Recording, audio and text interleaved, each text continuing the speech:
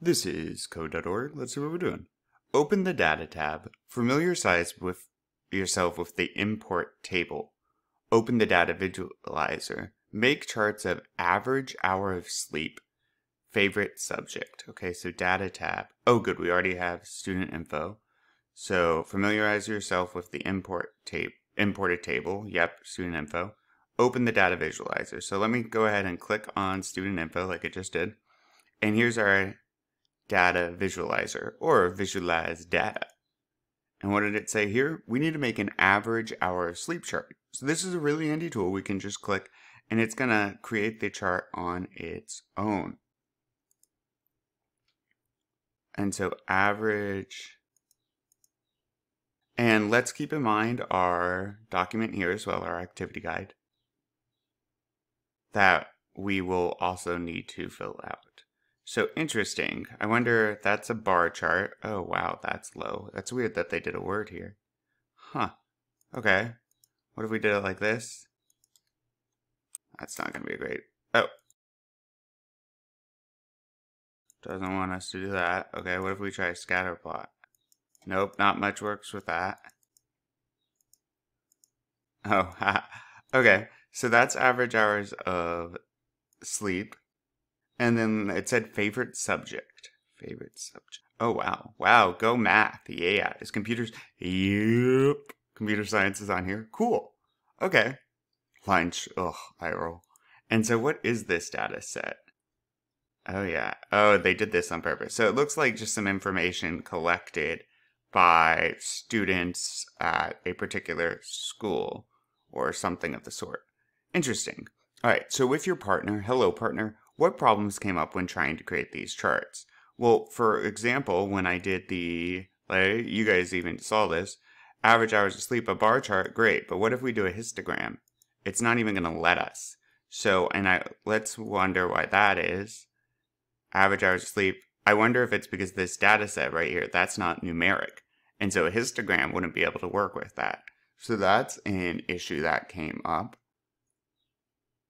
what else came up? Um, well, then when we did favorite subject, so it's interesting to see what they consider a subject here. Also, notice someone said CS and then computer science. Isn't that the same, right? Or if they abbreviate something, it's uh, it's going to separate it all out. And then we can even get into details like what does science mean and then biology? Shouldn't that be part of science? So I see some issues there as well. Clean the data manually. Oh, goodness. Okay. Manually update cells with messy data so it's consistent with other cells. So I'm not going to go through all of this because you need to figure it out. But like I said, one of them had a word six in it. So I'm actually going to see if I can find that. Oh, look. And obviously we don't want this word here. We want it to be numeric. So you just click edit and two because everything else is an actual number. I'm going to go through this and that's average hours of entertainment. So we didn't see that issue, but it would still be an issue. Let's take a look at six now. So let's do visualizer and now we can do average hours of sleep and boom, we got rid of that word. I wonder then if we can do a average hours of sleep histogram now because it's all numeric at this point. We can change our bucket size. Okay, that's neat. And then what were some of the issues with this? Well, remember computer science and some said CS, I believe?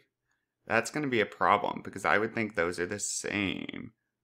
History, math, science, art, science. Oh, and then capital letters are even going to matter because that's not going to be counted the same. At least I don't. Let's see if they actually did that. Oop, they might be organizing capital letters the same, but still, you want the cleanliness, you want the uniformity within your data. Uh, and here we are, CS, computer, yikes, science, boom. Why is my letter P? I'm having issues with my keyboard, but that's fine. Okay. Save. There we are. So now it matches. So now let's look at the data. And that small CS category is gone. Yeah, so you want to continue through and check for inconsistencies like bi- biology and things of like that. Make the original charts again. Do your charts match others in the class? Why or why not? So hopefully that once you are done cleaning up this data, if you check with partners in class, it would match, right? Because does history make sense separate than this?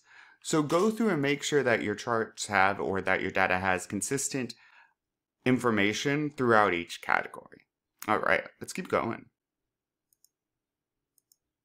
So once you're done with your chart, filter data in both the female state legislator, legislators and U.S. women running for elected office in 2020 tables using the activity guide. Okay, so let's see. Okay, so let's go do this. Filter female state legislators dataset for year by the year you were born. Okay, so let's head back here. Female state legislators, legislators. And keep in mind with the word filter, we have filtered data before, right? We filtered data with code using for statements and conditionals or ifs, checking and getting data of a particular sort, maybe from a certain year and things like this.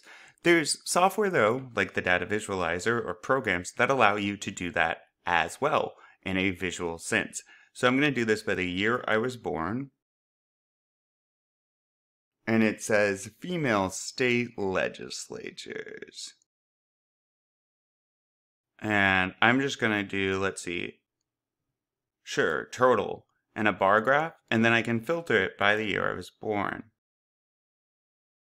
And I was born way back in 1987 because I'm an old man. So what this is showing then is each le- state legislator that had women in it in 1987. So it says female senate total and then the count, right? And so if I go here, it's showing the all the way down, down, down, down, down. It shows those that in 1987 had women in that office. Okay. Now let's keep in mind our boom. All right. So we did that. Create a histogram of percentages of female in the legislator. Choose a bucket size of five. Copy and paste. Okay. So. Oh, cool. And so with my filter, right, a histogram, keep in mind we don't want any gaps, and it's going to show us how this is changing. So the percentage of the legislator that was women and how many that women were actually represented by that.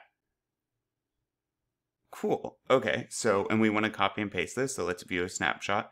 And again, yours will look different. This is from 1987 for me. You're probably not an old man. Like my students, you're not allowed to say that. Um, all right. Great. Now let's see. Filter the female state legislators data set by year. 2009, copy and paste and answer the questions. Uh, 2019. Okay. And so filter by year. All right. And once again, we can do view snapshot copy and boop, boop, paste, right click paste. And we have a few questions. If you were born, how many states had 20 in the year you were born, how many states had 20 to 30% legislators made up of females? Female legislators. So keep in mind, this will be different for you. So make sure you put in your year for this graph.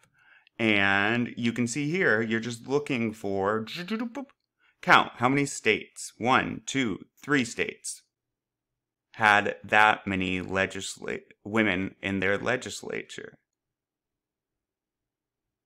So that's what I would say for mine. In 2019, how many states had between 25 and 30%? And this one's likely more. Oh, nope, between 25 and 30%. And you can tell here, you just want to look at your chart. So,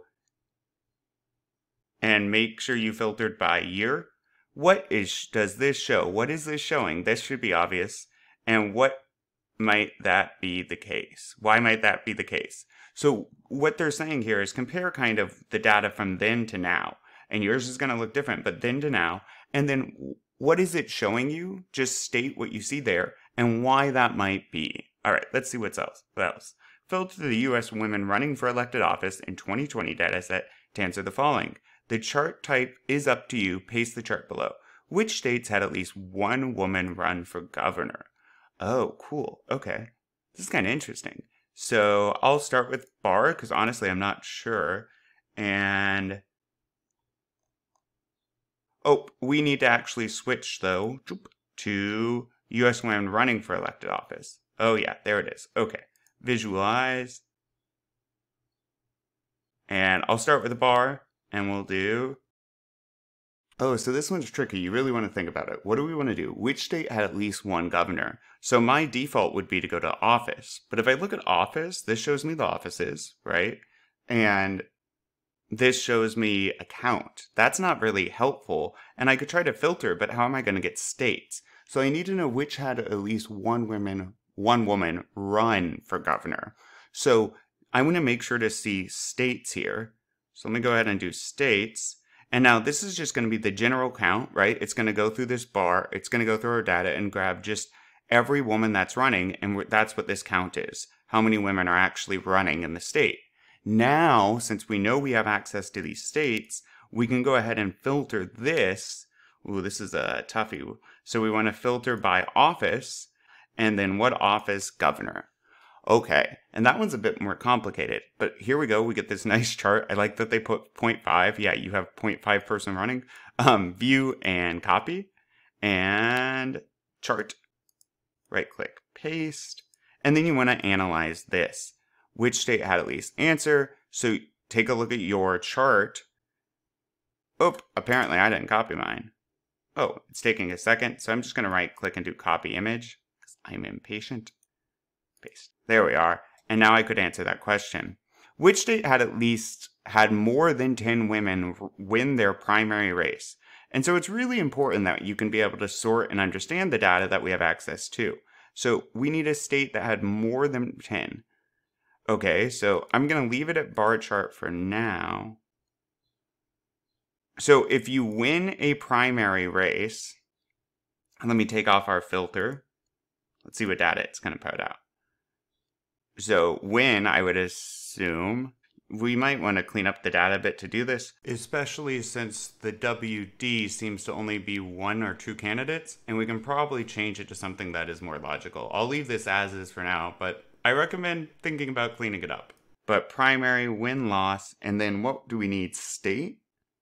Ooh, okay, well then again, I'm not seeing states around here, so let me try this. Let me do state first. Now I have a list of states. Let's see if I can do primary. And then let's look at wins. And now we have more of a clear picture of which state had a woman win in a primary. View snapshot and copy image. So I can put my chart here, and then I can answer that question. So being able to sort and interpret data is critical. All right, let's see what we, else we have on this one. Run and finish. Yep. What makes manually cleaning data? Yeah, so why would this be frustrating? And make sure you're putting your own answer, but I do want to think through it with you like a partner, right? So what could make this so frustrating? Well, think about it. Let me go back because I would probably want to clean up this data some as well. Let's take a look at it. Boom. And US women running for elected office, for instance. So I don't know what WD means. That doesn't make complete sense to me. And I know it's in here somewhere. In fact, I'm going to do Control F to do a search. WD. Let's see if this works. Yeah. So what might that mean? WD. Well, it says lost primary. So probably I would just want to edit this to be in L, right? Because that is more clear. So what's really frustrating about having to scroll through and hit search and then have to deal with multiple different things that are really close, you want to think about how much work you really must do to be able to edit the data. So my answer would have something to do with that. Think about how much scrolling, searching, slash hunting for cells to change. Think about multiple different values meaning the same thing, that's the stuff you want to hit upon because that makes data less useful if it's not easy to read when it really is or should be interpreted as the same data points. All right, onward.